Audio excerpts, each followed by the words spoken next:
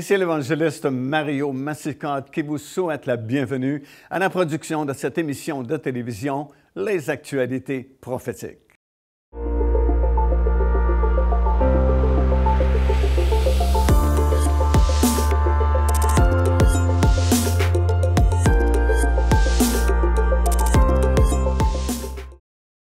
La Bible commence par un mariage et elle se termine par un autre mariage à la toute fin.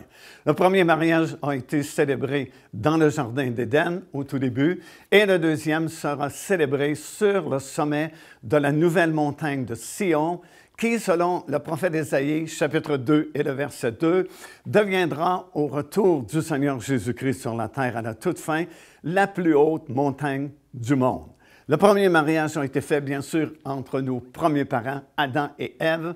Euh, Adam qui a été pris de la poussière de la terre, comme nous le verrons un peu plus tard au cours de cette étude, et Ève qui a été prise à même le corps d'Adam. Et de la même façon, le deuxième mariage, le dernier qui aura lieu sur cette nouvelle montagne de Sion, bien ce sera le mariage du Seigneur Jésus-Christ avec sa glorieuse épouse qui, elle aussi, sera prise de son corps qui est son Église. Alors, nous débutons aujourd'hui euh, un enseignement vraiment très intéressant et très motivant également, euh, qui a pour titre De fiancé à épouse, ou la différence entre le corps de Christ et l'épouse du Seigneur Jésus-Christ. Nous avons vu comment euh, cette série d'études a débuté il y a déjà maintenant très longtemps et qui a pour titre la préparation de la reine en vue du règne éternel. Et ce quatrième volet que nous débutons aujourd'hui fait suite, bien sûr, à celui que nous venons de terminer et qui avait pour titre La fiancée aux sept visages. Nous avions pris, si vous vous souvenez, les deuxième et troisième chapitres du livre de l'Apocalypse qui nous rappellent euh, que dès l'instant où nous acceptons le Seigneur Jésus-Christ, nous sommes fiancés avec lui en attente de cette cérémonie du mariage qui aura lieu lorsqu'il reviendra à la toute fin. Et comme je mentionnais, ce mariage aura lieu, comme nous le verrons un peu plus tard au cours de cette série d'études, sur le sommet de la nouvelle montagne de Sion, sur laquelle euh, la nouvelle ville de Jérusalem sera restaurée. Ce ne sera pas encore la nouvelle Jérusalem parce que celle-ci ne viendra qu'après le millénium sur la nouvelle terre qui aura été purifiée par le feu, mais ce sera la ville de Jérusalem qui aura été restaurée pour la période du millénium. Et il y aura également ce quatrième temple qui sera construit surnaturellement lorsque le Seigneur Jésus-Christ sera revenu sur la terre. Alors c'est sur ce sommet qu'aura lieu ce mariage-là. Et puisque nous avons été fiancés, ben c'est sûr qu'il y a une promesse de mariage qui a été faite à ce moment-là. Et cette promesse euh, s'accomplira au retour de notre Seigneur Jésus-Christ. Ah, nous avons vu euh, au travers ces deux chapitres, chapitre 2 et chapitre 3 du livre de l'Apocalypse, comment la fiancée s'est comportée depuis la fondation de l'Église au tout début jusqu'à la fin de son histoire terrestre puisque c'est cette Église mentionnée dans ces deux chapitres avait été choisie par le Saint-Esprit parce qu'elles avaient en elles euh, les caractéristiques principales qui devaient marquer les sept grandes époques de l'histoire terrestre de l'Église du Seigneur Jésus-Christ. Alors nous avons étudié cela de façon détaillée. On a parlé de la première Église Éphèse jusqu'aux deux dernières, l'Église de Philadelphie et celle de Laodicée qui en fait représente l'Église des derniers jours et surtout représente les deux courants euh, qui devaient se produire euh, à la fin des temps, à la dernière génération, la génération dans laquelle nous sommes présentement. Philadelphie représentait ceux qui sont restés fidèles au Seigneur et surtout attachés à la parole de Dieu, tandis que la Odyssée euh, représente ceux qui se sont fait prendre dans l'apostasie des derniers jours. Alors nous avons constaté tout au long de l'histoire terrestre de l'Église, qui est représentée par ces sept églises, comment la fiancée s'est comportée à différentes époques. Bien sûr, il y a eu des époques de grande persécution, comme nous avions étudié. Euh, dans l'histoire de l'Église. Il y a eu d'autres euh, périodes où ce fut des compromis et de la séduction que l'ennemi a placé devant l'Église du Seigneur. Et nous avons constaté un peu euh, comment la fiancée s'est comportée face à ces obstacles et ces tentations que l'ennemi lui a présentées. Mais à la toute fin, lorsque le Seigneur reviendra, ben, tous ceux qui seront restés fidèles dans tous ces âges-là, dans toutes ces grandes époques de l'histoire terrestre de l'Église, feront partie de l'épouse de Christ, groupe glorieux qui régnera avec lui dans le monde nouveau et dont nous allons parler euh, en détail au cours de cette présentation, ce quatrième volet ou quatrième coffret de cette longue série d'enseignements, la préparation justement de la reine en vue du règne éternel. Alors, écoutez, je vais partager avec vous beaucoup de choses. Évidemment, je ne connais pas toutes choses, mais au cours des années, j'ai quand même appris beaucoup de choses concernant notre euh, destinée éternelle, comment c'est glorieux ce que le Seigneur a préparé pour nous. Et si vous portez attention à cet enseignement, parce que ce quatrième enseignement, ce quatrième coffret de cette série, c'est vraiment le cœur de, de cette série-là, la préparation de la reine en vue du règne éternel, puisque la fiancée qui a été patiente et qui est demeurée fidèle au Seigneur durant tout son pèlerinage ici-bas, finalement deviendra l'épouse de Christ et co-régnera avec lui dans un monde nouveau qui arrive bientôt. Alors, c'est vraiment très important de porter attention à cet enseignement-là parce que, comme j'ai mentionné au tout début, c'est un enseignement vraiment très révélateur et ce sera vraiment très bénissant. Et si vous l'écoutez attentivement et si vous vérifiez euh, les versets que je vais vous partager euh, dans la parole du Seigneur, ben, votre cœur va se remplir de joie et d'espérance et vos yeux spirituels vont s'ouvrir, tout comme Paul avait prié pour les Éphésiens afin que le Seigneur puisse ouvrir leurs yeux spirituels pour qu'ils voient la richesse de la gloire, de l'héritage que Dieu réserve à ses bien-aimés, à ses rachetés. Alors, tout au long de cet enseignement, bien, nous allons vous révéler des choses vraiment très encourageantes. Vous savez, dès le moment où j'ai accepté le Seigneur Jésus-Christ dans ma vie, j'ai été interpellé par le message prophétique. En fait, je suis venu dans une assemblée évangélique pour la première fois un samedi soir. Et puis, c'est ce soir-là où j'ai été convaincu par le Saint-Esprit de donner ma vie au Seigneur. Et c'est ce qui s'est produit. Et j'ai été euh, sauvé ce même soir-là. Et quelque temps après, alors que nous nous sommes attachés à cette église où nous avions accepté le Seigneur, mon épouse et moi, les gens parlaient d'une grande prophétie qui venait de s'accomplir récemment. Et ça m'a vraiment interpellé parce que je n'avais jamais lu la Bible avant ce temps-là où je suis venu à cette assemblée et j'ai entendu le prédicateur prêcher la parole de Dieu. Et je pensais qu'à l'époque, la Bible, c'était un livre qui parlait de religion et ce n'était pas un sujet qui m'attirait tout particulièrement. Mais là, on me parlait de politique, on me parlait de guerre, on me parlait de prophéties qui avaient été données quelquefois il y a des milliers d'années auparavant et qui s'accomplissait à notre époque, dans notre génération. Et j'étais comme fasciné par cela. Et tout de suite, je me suis intéressé à en savoir davantage, à lire au sujet d'autres prophéties qui devaient s'accomplir et qui n'étaient pas encore accomplies. Et je trouvais ça vraiment fascinant euh, qu'il y ait un livre qui existe et qui, euh, dans lequel vous pouvez trouver des paroles, des prophéties ont été données quelquefois il y a des milliers d'années et qui s'accomplissent de nos jours. Alors j'ai commencé très tôt à prêcher la parole du Seigneur. Euh, autour de la ville où nous demeurions.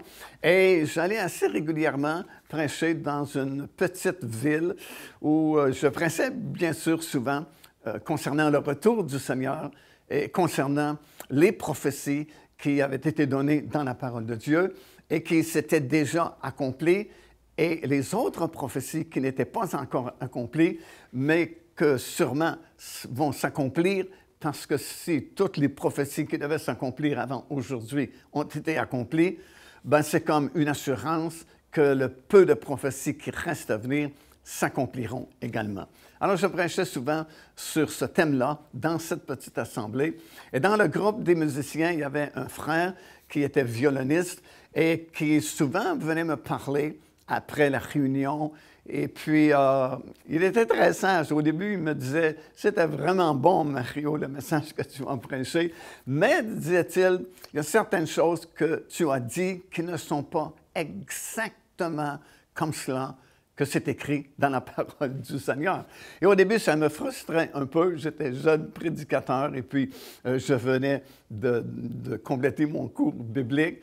Et puis, euh, mais, j'ai pris attention, j'ai pris garde à ce qu'il me disait et euh, j'ai constaté qu'effectivement, il y avait certaines choses que je déclarais qui n'étaient pas euh, exactement, de façon précise, la façon que c'était écrit dans la parole du Seigneur. Et vous savez, il y avait un grand évangéliste américain il y a plusieurs années passées qui avait fait cette déclaration. Il avait dit, parmi les prédicateurs, il y a beaucoup d'échos, mais très peu de voix. Ce qu'il voulait dire, c'est que souvent les prédicateurs répètent ce qu'ils ont entendu prêcher de d'autres prédicateurs sans vraiment avoir vérifié si c'était exactement cela qui était écrit dans la parole du Seigneur. Alors, ça a changé rapidement ma façon de préparer mes messages, préparer ma prédication. Je voulais surtout vérifier dans les Écritures, dans la Bible, dans la parole du Seigneur, si c'était exactement cela qui était écrit. Et j'ai constaté que l'apôtre Paul avait fait plusieurs exhortations dans ce sens-là aussi, particulièrement à Timothée, qui était un peu son enfant spirituel, comme il va dire dans les Écritures. Et ici, nous lisons, c'est dans 1 Timothée, euh, le quatrième chapitre et au verset 6, il lui dit, en exposant ces choses aux autres, tu seras un bon ministre de Jésus-Christ, nourri des paroles de la foi et de la bonne doctrine que tu as exactement suivi. Remarquez le mot exactement suivi. Puis dans le livre des Actes des Apôtres, chapitre 18 et au verset 26, ça dit Aquilas et Priscille parlèrent à Apollos et lui exposèrent plus exactement la voie du Seigneur. Parce que lui aussi prêchait probablement des choses qui n'étaient pas conformes à la voie précise du Seigneur. Aussi, dans Actes des Apôtres, chapitre 22, Paul dit Je suis juif, né à Tarse en Cilicie, mais j'ai été élevé dans cette ville et instruit au pied de Gamaliel dans la connaissance exacte de la loi de nos pères. Actes des Apôtres, chapitre 17, il est dit euh, des chrétiens de Bérée euh, que ces Juifs avaient des sentiments plus nobles que les autres et ils vérifiaient dans les Écritures pour vérifier si euh, ce que Paul prêchait était exact. Alors, il y a plusieurs versets comme ça que vous trouvez dans les Écritures où on insiste pour prêcher exactement selon la doctrine, selon ce qui est écrit dans la parole de Dieu. Alors, ces circonstances ont permis que je vérifie davantage si c'était cela qui était exactement écrit. Alors, fort de cela, je vais partager avec vous la parole du Seigneur concernant ce thème-là vraiment très particulier de fiancé à épouse. Et nous allons constater plusieurs vérités euh, que nous retrouvons dans la parole du Seigneur et qui ne sont pas nécessairement euh, prêchées abondamment euh, au milieu de nous, mais qui néanmoins sont des doctrines fondamentales qui sont mentionnées dans les Écritures, dans la parole du Seigneur. Et euh, tout au long de cet enseignement, je vais vous donner les versets euh, sur lesquels je m'appuie pour déclarer certaines choses. Et vous pouvez vérifier par vous-même, tout comme euh, j'ai mentionné il y a quelques instants, les Béréens, lorsqu'ils entendaient Paul discourir et prêcher la parole de Dieu, se donnaient la peine de vérifier dans la parole. Et eux, tout ce qu'ils avaient à l'époque, bien sûr, c'était l'Ancien Testament, mais néanmoins, ils se donnaient le trouble de vérifier pour savoir si ce que Paul disait était exact, si c'était vraiment selon la saine doctrine. Alors, ce que nous allons apprendre au cours de ce quatrième volet de cette longue série d'enseignements, c'est que, premièrement, euh, l'Église du Seigneur Jésus-Christ, c'est véritablement le corps de Christ. Nous avons un grand enseignement à ce sujet-là que Paul a donné dans la première épître aux Corinthiens, dans le 15e chapitre, où l'apôtre Paul nous parle euh, que chaque membre, chaque personne qui accepte le, Seigneur Jésus-Christ est placé comme un membre dans le corps de Christ. Et euh, s'il est placé comme un membre dans le corps de Christ, c'est qu'il doit fonctionner. Nous sommes appelés à, fonctionner dans la position euh, là où Dieu nous a placés dans son Église. Le corps de Christ, c'est l'Église du Seigneur Jésus-Christ. Et tout au long de son pèlerinage ici-bas, l'Église est comparée au corps de Christ. C'est comme une image, un symbole euh, qui euh, nous fait comprendre que nous devons agir, nous devons fonctionner. Parce que si un membre de notre corps physique ne fonctionne plus, ben, ce n'est pas juste ce membre-là qui est pénalisé, mais tout le corps est pénalisé. Euh, tout au long de son pèlerinage ici-bas, comme je viens de mentionner, on fait référence à l'Église du Seigneur Jésus-Christ comme étant le corps de Christ. Cependant, à la fin de son voyage ici-bas, lorsque la trompette sonnera et que l'Église sera enlevée, son pèlerinage ici-bas sera terminé, son, histoire terrestre sera terminée aussi, il n'y a plus mention du corps de Christ lorsqu'on parle de l'Église, mais plutôt, désormais, elle sera appelée l'épouse du Seigneur Jésus-Christ.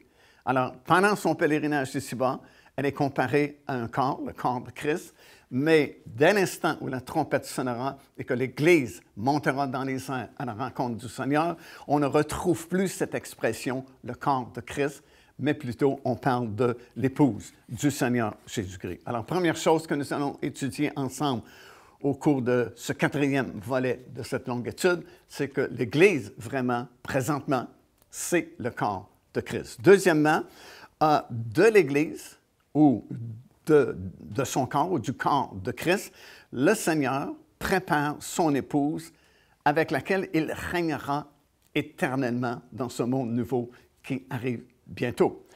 C'est un peu comme l'histoire d'Abraham qu'on a déjà mentionné dans des études précédentes, qui a appelé son plus fidèle serviteur d'aller dans son pays pour trouver une épouse pour son fils Isaac. Bien sûr, c'est une image de Dieu le Père qui a envoyé le Saint-Esprit afin de préparer au sein de l'Église, au sein du corps de Christ, une épouse avec laquelle le Seigneur régnera un jour pour toujours. Puis nous allons examiner un troisième volet. Nous allons euh, regarder ensemble et comprendre comment les rachetés de l'Éternel ne feront pas partie du même groupe. Il y aura des groupes différents de rachetés. Et plus que ça, tous les rachetés de l'Éternel ne ressusciteront pas tous en même temps, au même moment. Et ça, c'est clair, 1 Corinthiens chapitre 15, des versets 22-23. L'apôtre Paul affirme que tous les rachetés de l'Éternel vont ressusciter un jour, bien sûr, mais, dit-il, chacun en son rang. Alors c'est clair, c'est évident qu'il y a différents rangs qui composent la résurrection des justes, alors nous comprenons que tous les rachetés de l'Éternel ne ressusciteront pas tous en même temps. Et de ce fait, nous constatons qu'il y a des groupes différents de rachetés. Et nous allons voir et constater au cours de cet enseignement qu'il y a effectivement différentes positions, différents groupes qui occuperont différentes positions, qui auront différentes gloires, et ainsi de suite. De plus, euh, certains euh, rachetés serviront l'Éternel dans le monde nouveau, d'autres régneront avec le Seigneur Jésus-Christ. Alors nous allons voir plusieurs versets bibliques qui euh, parlent de ces différents groupes, même présentement au sein de l'Église, dans le corps de Christ. Des versets, par exemple, comme celui-ci, ça dit euh, à, à, celui qui vaincra, qui est répété sept fois dans le chapitre 2 et 3 du livre de l'Apocalypse. Alors, déjà, il y a une séparation à celui qui vaincra. Ça veut dire qu'il y aura des vainqueurs et d'autres qui ne seront pas vainqueurs. À l'église de Thyatire, par exemple, le message du Seigneur est adressé à vous et aux autres à Thyatire. Alors, c'est évident, encore une fois, qu'il y a deux groupes. Et finalement, nous allons parler de la cérémonie du mariage qui aura lieu sur le sommet de la nouvelle montagne de Sion et qui sera suivie des noces de l'agneau. Alors, évidemment, comme vous pouvez le constater, cette étude est vraiment très importante parce qu'elle concerne notre futur. Elle concerne notre destinée éternelle qui a été préparée pour nous avant même la fondation du monde, comme nous le lisons dans l'épître de Paul aux Éphésiens. Un jour, le Seigneur Jésus-Christ reviendra et puis sa glorieuse épouse régnera avec lui dans un monde nouveau.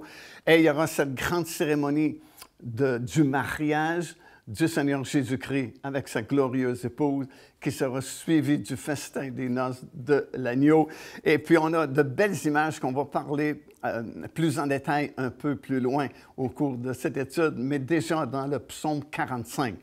Quelle belle image de cette grande cérémonie du mariage du Seigneur Jésus-Christ avec son épouse. Ça dit qu'elle entrera dans des palais d'ivoire euh, et sera somptueusement euh, vaincue et débutera le règne éternel avec le Seigneur Jésus-Christ.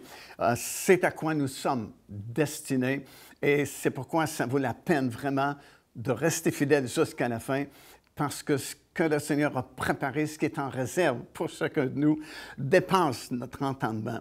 C'est vraiment tellement glorieux et plus nous examinons l'héritage qui a été préparé, réservé pour les racheter de l'Éternel, ben c'est un puissant encouragement à ne pas négliger notre marche avec le Seigneur Jésus-Christ. Euh, plusieurs choses sont mentionnées dans la parole de Dieu pour nous exhorter vraiment, euh, comme par exemple dans Colossiens, le troisième chapitre, le verset 1, ça dit, Si donc vous êtes ressuscités avec Christ, cherchez les choses d'en haut, où Christ est assis à la droite de Dieu.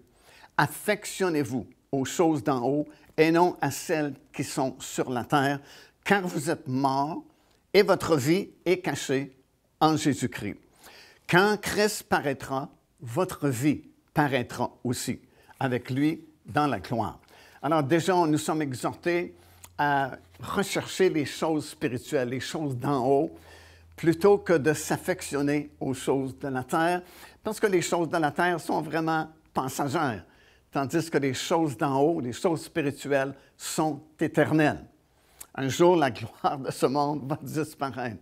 Un jour, la réputation que nous avons euh, acquise dans ce monde, la position que nous avons euh, obtenue dans ce monde, euh, ne voudra plus dire grand-chose parce que nous entrerons dans notre règne éternel. Et ce qui comptera à ce moment-là, c'est la fidélité que nous aurons eue à marcher avec le Seigneur et de marcher de façon à rechercher les choses dans haut, les choses spirituelles. 1 Corinthiens chapitre 15 et le verset 19. L'apôtre Paul dit ceci, si c'est dans cette vie seulement que nous espérons en Jésus-Christ, nous sommes les plus malheureux des hommes.